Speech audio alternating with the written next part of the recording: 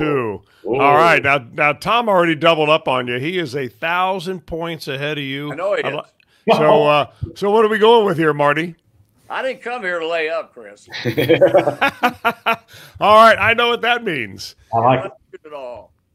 Okay, how many umpires Oh. are there in the National Baseball Hall of Fame? We go to one Hall of Famer for this answer. What do you say? Now, Are there before I- six? Are there eight? Are there ten? Or are there eleven?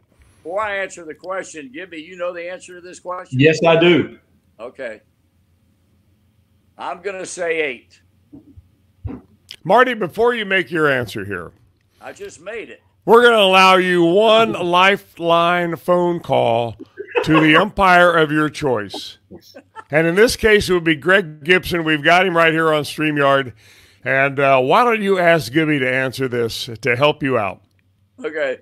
Gibby, Ten. 10. Let's see if that is the correct. How about that?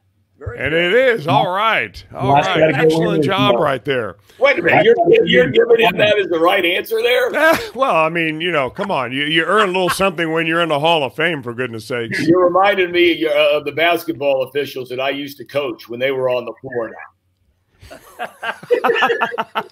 I I, love I, I'm sure that you remind them of a few things as well. I'm sure.